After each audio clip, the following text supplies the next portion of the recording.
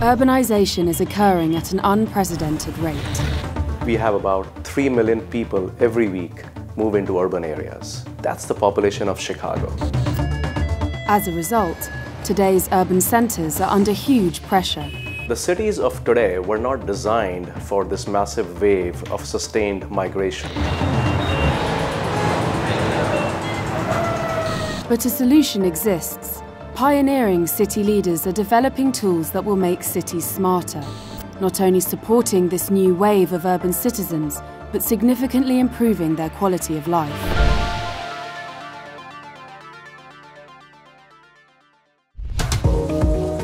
In 10 years' time, 60% of the world's population will be urban. As cities adapt to meet the needs of their growing numbers, they will face many challenges. The solution lies in data. To better utilize the existing infrastructure and to improve it over time, what we need in cities is a data-centric approach. Billions of connected, intelligent devices will gather data across smart cities. A network of sensors at the roadside, on buildings, and throughout a city's infrastructure will monitor and transmit a mass of information and send it back to the cloud for analysis. These insights are then sent back to the point of influence. So for example, more intelligently controlling traffic intersections, advertising the availability of a parking spot the moment the bay becomes available, or responding to an accident on the road with the appropriate level of support. You can almost think of it as a big interoperable system that's working throughout the city, creating an unprecedented level of intelligence that we can use to make lives better for the citizens. By gathering and analysing data, smart cities have the potential to seriously improve citizens' everyday lives. How many times have we sat at a traffic intersection with 10 cars behind us staring at a red light and the other side has green light and there's no traffic? You have all the intelligence at the traffic intersection. You have the camera, you have the intelligent control. Let's combine that information and dynamically change the lighting sequence so that traffic can flow better. And when you do that at every intersection, the system of systems overall works much better. But this vast data system won't just be able to help us travel seamlessly through cities. It will even alter the air we breathe.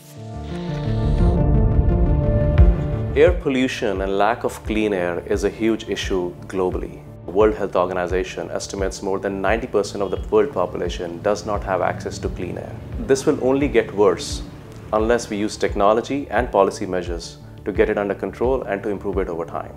For example, reduce the amount of traffic.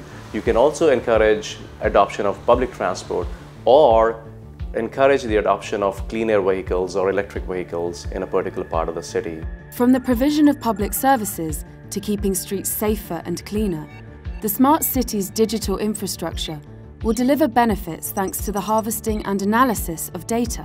The projected amount of data that will be generated in smart cities worldwide in 2020, so not 10 years from now, next year, will be 16.5 zettabytes.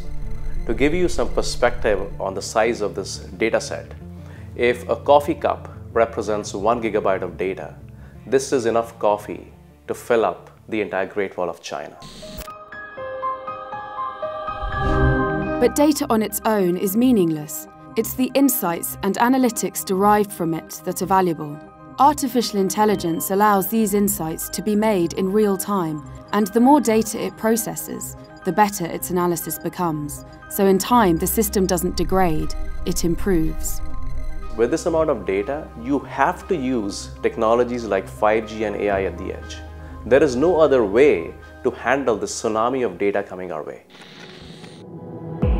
This vision of the future comes with great challenges and great opportunities. But the technology is there. By working together in public-private partnerships, private companies, government and city leaders can turn this vision into reality. Let's be clear, cities worldwide are in a global competition for the best talent. The more they can offer in terms of a better quality of life for the citizens, the better is the quality of talent that they're able to attract and the companies who will want to come there and set up shop. That's the ultimate goal. Over the next 10 years, the pace of urbanisation is set to increase. Cities will be put under further strain. But thanks to data and companies like Intel, the future is looking bright.